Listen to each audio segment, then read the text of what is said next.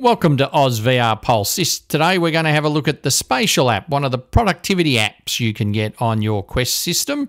Uh, this is an app that allows you to have multiple windows and in many ways replicates what you would probably see on uh, Vision OS on an Apple Vision Pro. So uh, with these windows, we've got little bars underneath them where we can resize them and move them around to wherever we want. And of course, if you're enjoying this video or any of our videos, don't forget to like, comment, and subscribe and hit the bell icon.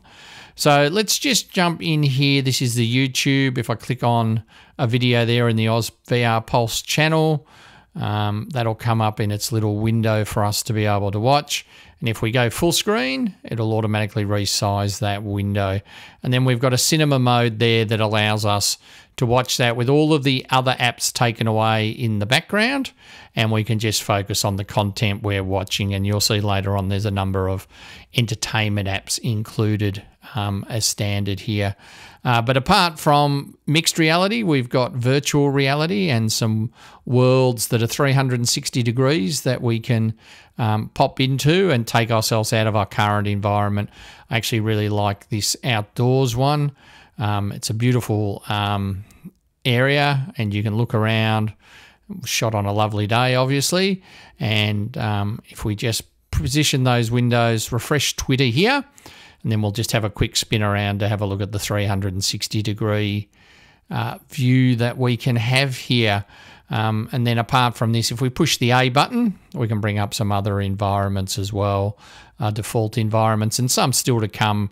Uh, but plenty of choices there for your uh, virtual reality. So I find the system really good to use. You can move windows around, size them. There's a great selection of apps um, that you can use, um, particularly a number of entertainment apps, things like Apple TV, etc. That previously have not been easy to get into on the Quest, or you've had to use the built-in browser. But um, this is really good. There's some widgets. Um, I use that clock widget pretty regularly, some sticky notes.